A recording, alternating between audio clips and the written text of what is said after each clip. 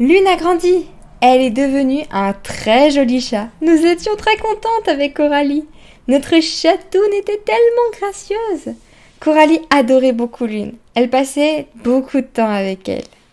Lune se laissait toujours faire lorsque Coralie la prenait dans les bras. Elle la chatouillait, gratouillait, dorlotait. Bref, elle était complètement gaga de notre chat.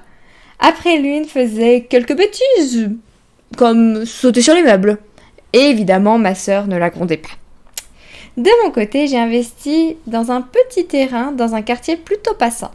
Après avoir négocié avec quelques fournisseurs, j'ai pu lancer un petit commerce d'instruments de musique.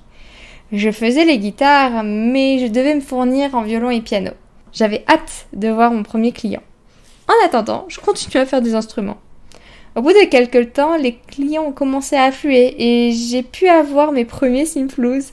J'étais heureuse de voir que le bouche à oreille commençait un peu à jouer